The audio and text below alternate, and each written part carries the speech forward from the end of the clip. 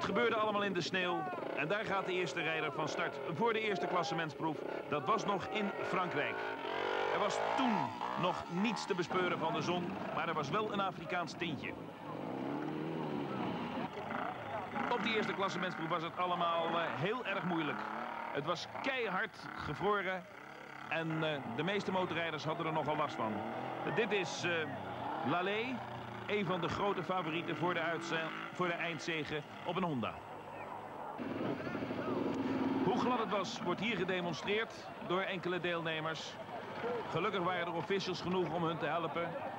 En dit zijn nog maar de eerste schermutselingen, want Parijs-Dakar gaat van de sneeuw in Frankrijk naar de woeste zand- en steenwoestijnen in Noord-Afrika.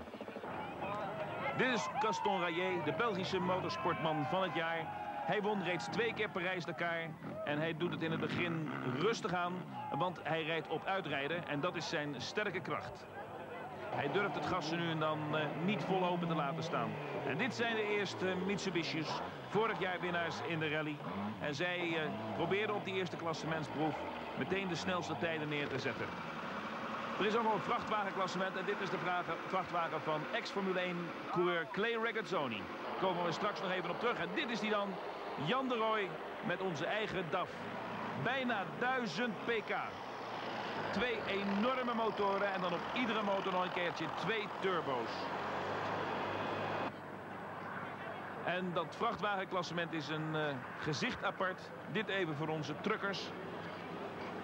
Een Italiaanse equipe. En kijk eens wat ze zich allemaal hebben laten invallen. Ze denken zelfs dat ze waarschijnlijk nog onder water moeten rijden.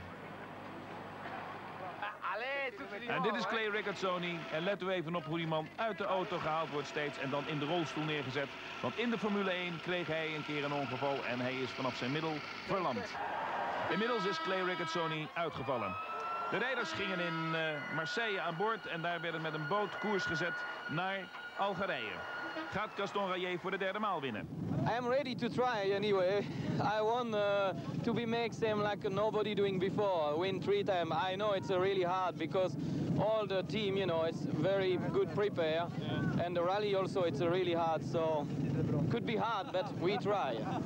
Hij vindt het dus allemaal erg moeilijk, maar hij gaat zijn best doen om het voor de derde keer te winnen. Hij is nog steeds niet uitgevallen. Met startnummer 95, Cyril Neveu, die daar als een van de eerste rijders uh, de woestijn in gaat.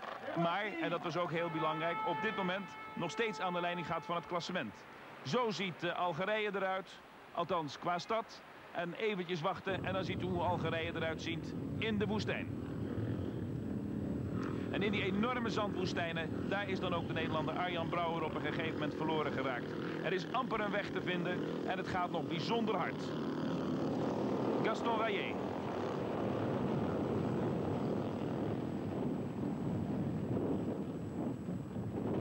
In de woestijnen is niet alleen zand, er is ook een enorme steenwoestijnen. En hier komt hij weer, de man die op dit moment aan de leiding gaat. Cyril Neveu, de Fransman op een Honda. Op de tweede plaats ligt op dit moment Hubert Oriol, derde Gilles Lallet. En dit is dan weer Gaston Rayet op de tiende plaats. En Anne Kies, onze Nederlander, is als enige overgebleven Nederlander op de motor op de negentiende plaats.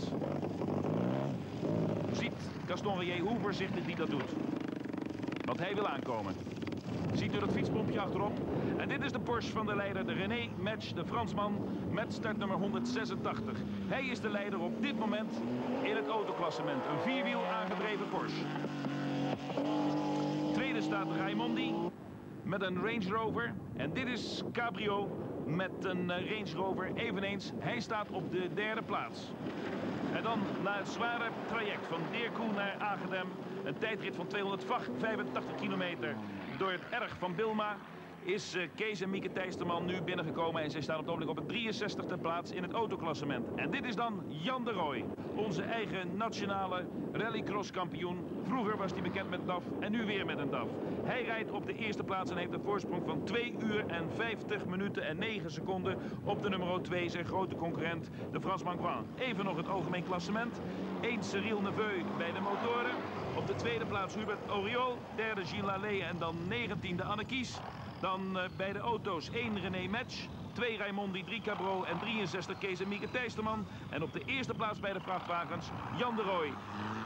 In het algemeen klassement bij de auto's verder nog op de 108e plaats Evert Bolderheij. Op de 109e plaats Ben Moritz. En 114e is Van Eyck.